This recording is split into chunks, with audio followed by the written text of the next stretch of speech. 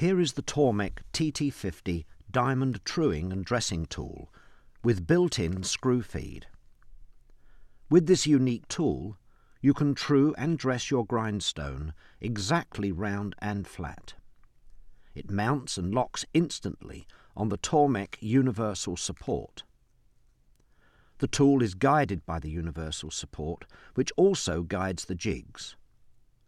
This ensures that the stone surface is always parallel to the tool fitted in the jig. The grindstone surface and the universal support need to be parallel with each other. To true up an out-of-shape grindstone, slide the TT50 onto the universal support. Fit the fork around the leg of the universal support and lock the TT50 into position. Lower the universal support until the diamond cutting tip is resting on the highest spot on the grindstone. Spin the micro-adjusting thumb wheel down until it contacts the mounting sleeve, and then just a touch more.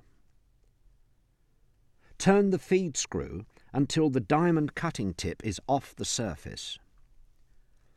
Raise the micro-adjusting thumb wheel up from one-sixth to one-half turn. Push down on the universal support until it rests on the micro-adjusting thumb wheel and lock into position. Remember, you want to cut as little off your stone as necessary. Dropping the universal support by half a turn makes a cut of 0.75 millimetres, or three hundredths of an inch, which is a very heavy cut. It is recommended to take one or more lighter cuts instead of a single heavy cut.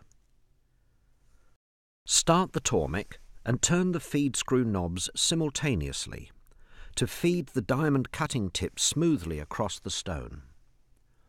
A maximum feed time of 90 seconds is recommended.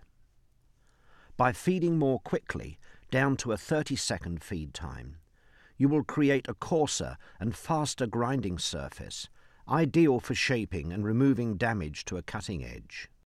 Your stone is now perfectly round, straight across, parallel to the universal support, and ready for work.